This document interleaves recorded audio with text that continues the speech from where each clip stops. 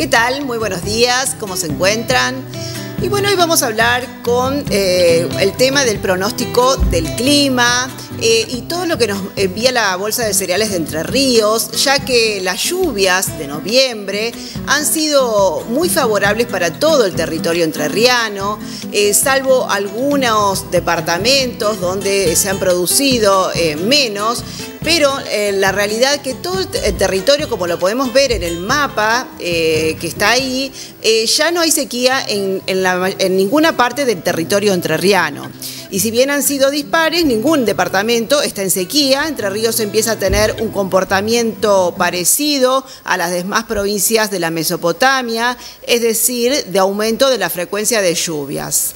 En los últimos 10 meses del año, solamente en marzo, mayo y julio hubo precipitaciones superiores al promedio mensual y había un déficit de 230 milímetros, pero a partir del 21 de octubre comenzó a generarse un cambio en el comportamiento de las lluvias. Bueno, ahora pasando un poco a lo que está ocurriendo con los cultivos, eh, el trigo, por ejemplo, se ha empezado a cosechar en, Entre Ríos eh, sobre una superficie de 600.000 hectáreas para esta campaña 2023-2024. El rendimiento provincial muestra una ligera disminución con el promedio del último quinquenio, situándose en 3.265 kilogramos por hectárea.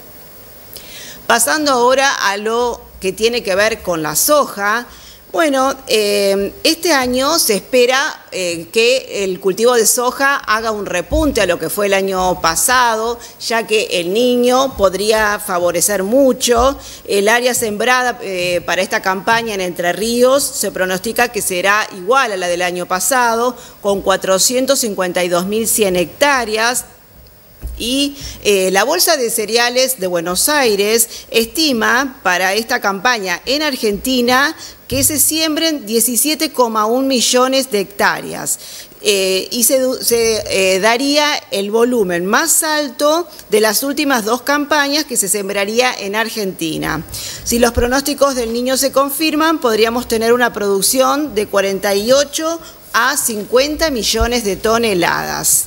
Bueno, en cuanto al precio, eh, bueno, va a haber que estar muy pendiente de lo que pasa. Tuvimos una baja del precio de la oleaginosa la semana pasada en la posición noviembre y en cuanto a la posición cosecha llegó a alcanzar los 350 dólares la tonelada.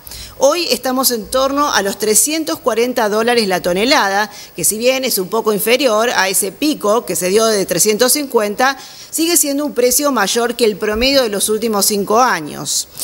Eh, en cuanto a lo que tiene que ver con la venta de, este, la soja, eh, se está dando un, ritmo de venta bastante lento, pero bueno, esto tiene que ver, por supuesto, con la época del año, con la incertidumbre política y con la climática también. Y eh, bueno, lo que le decimos siempre a los productores, ¿qué pasa en esta fecha con los precios? Bueno, van a tener que seguir y tener en cuenta variables eh, internacionales como son eh, qué está pasando con la finalización de la cosecha en Estados Unidos, que tuvo buenos rendimientos, pero en el mediano plazo la relación stock-consumo en Estados Unidos sigue a la baja.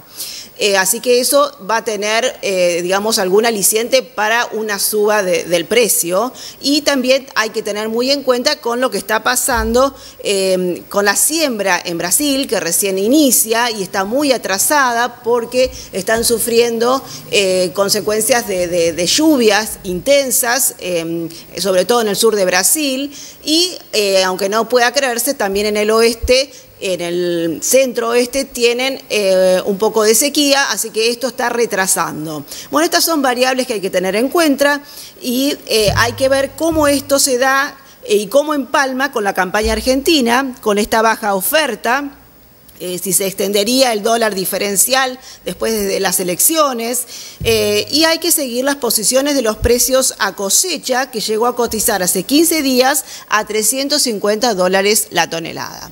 Así que bueno, eh, el aliciente para la soja es bueno, por supuesto, tenemos buenos precios y tenemos buen clima. Pero, ¿qué está pasando con la ganadería? Bueno, eh, como veíamos la semana pasada, sigue la evacuación de Hacienda de las islas.